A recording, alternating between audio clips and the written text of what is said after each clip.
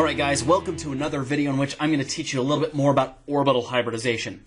In my previous video, I told you guys how you can determine an individual atom's orbital hybridization. In this video, sadly, I'm going to show you what that actually means. And I'm going to do it by using a slightly older video that I filmed quite a while ago. So I hope you'll uh, excuse the slightly awkward audio and the possibly different haircut and wardrobe. Here goes. To simplify things, I want you guys to imagine that orbitals are really nothing more than a region of space that electrons can occupy. Orbitals are in essence just empty parking places for electrons to go into. Different orbitals, of course, have different shapes. S orbitals are shaped like spheres, and p orbitals are shaped like cute little dumbbells. Every element has its own electron configuration, which is a subject that I won't review here. Carbon's electron configuration, of course, is 1s2, 2s2, 2p2. Now, carbon's valence orbitals are the ones that have the highest number, this 2s orbital and this 2p orbital. You count up the number of electrons occupying those, it adds up to 1, 2, 3, 4. So that means that carbon has four total valence electrons. Now let's see if we can assemble a carbon atom one layer at a time. We'll imagine that carbon's nucleus looks like this. This is where its neutrons and protons are located. This nucleus is surrounded by a 1s orbital. Now if you look up here, you see how it says there are two electrons that occupy that 1s orbital? There they are. These are core electrons. Now outside this layer we see a slightly larger 2s orbital. Over here in the electron configuration it says there are two electrons that occupy that 2s orbital. There they are. Now these are two of carbon's valence electrons. Outside of this layer, we see carbon's three individual 2p orbitals, which straddle the x, y, and z axes 90 degrees apart from each other. If we look over here, you'll see that the electron configuration indicates that there are two electrons in carbon's 2p orbitals. Where do those go? They go right here and right here. The third 2p dumbbell right here remains unoccupied. So let's pretend that carbon wants to bond with four separate hydrogen atoms to form methane, the molecule shown here. Now once again you'll remember that the bond angle in this tetrahedral structure is 109.5 degrees. So here come our four individual hydrogen atoms, ready to bond with carbon. In order to form a bond, each of these hydrogen atoms, which has an individual 1s orbital filled with a single electron, has to overlap with carbon's valence orbital somehow. Now look at this. How in the world are these hydrogen atoms going to be able to overlap with carbon's 2p and 2s orbitals? Where could they go? Well, we could imagine this hydrogen atom right here might be able to overlap with the bottom of this p orbital. Okay. And this hydrogen atom over here could potentially overlap with this p orbital, and this hydrogen atom could overlap with this p orbital. But if it did that, now all three of these hydrogen atoms have overlapped with three of these p orbitals. What's left for this poor hydrogen atom over here? Where can he go? Well, the only thing he could overlap with is the 2s orbital, which is kind of a little bit located squished in here in the interior. So he'd have to like kind of squish down in there, and that might create some real problems for him to be able to fit into that hole. There's another problem here too. Each of these p orbitals are located 90 degrees apart, not 109.5.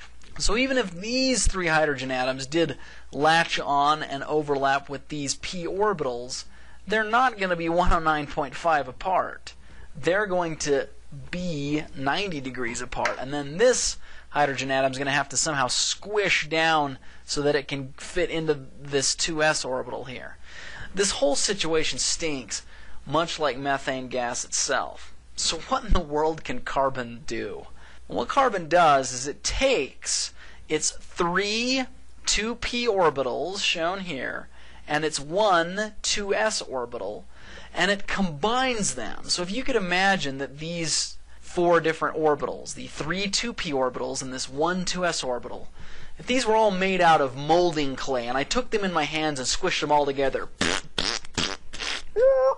And then I took all of that molding clay and separated it out equally into four separate orbitals that are all equal size and shape. That's essentially what carbon's doing. It's taking these three individual 2p orbitals, this one 2s orbital, squishing them together, and separating them out into four separate and equal sp3 orbitals. Carbon now places each of these new sp3 orbitals together in this kind of three-dimensional form. And guess what the bond angle is between them? 109.5. Carbon can put its four valence electrons in each in one of these four sp3 orbitals. Now what can happen?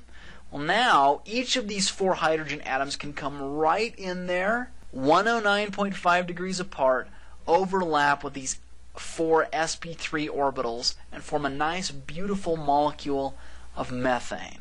Isn't that pretty? That's what orbital hybridization is. The word hybrid comes from a Latin root that essentially means mixing or combining.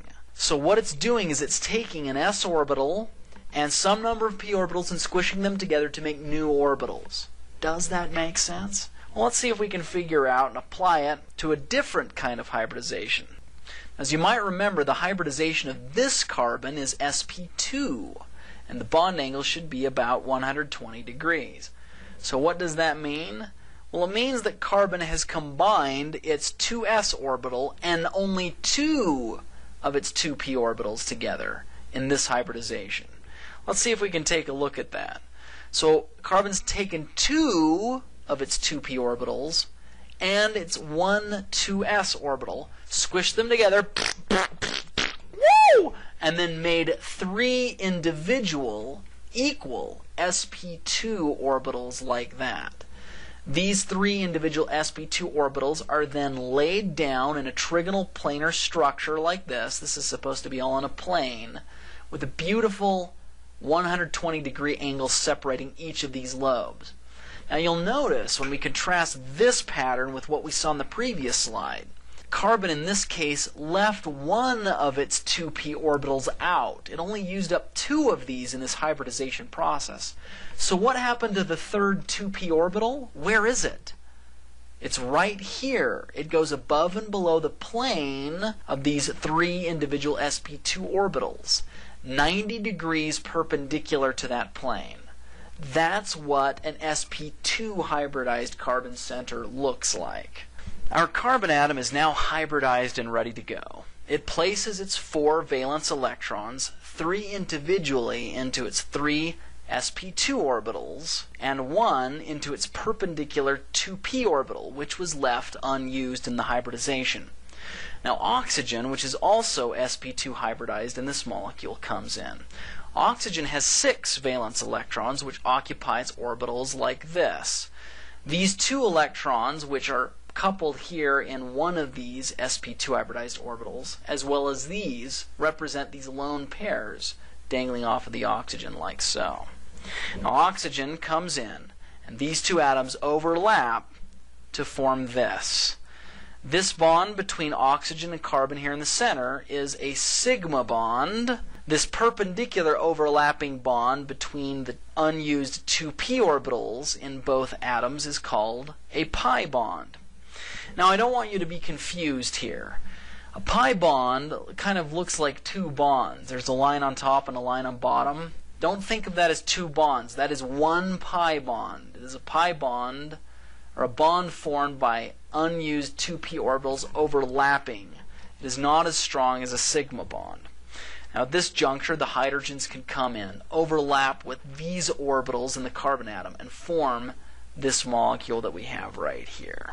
Now let's do the same process for an sp hybridized molecule, which has a 180 degree bond angle right here.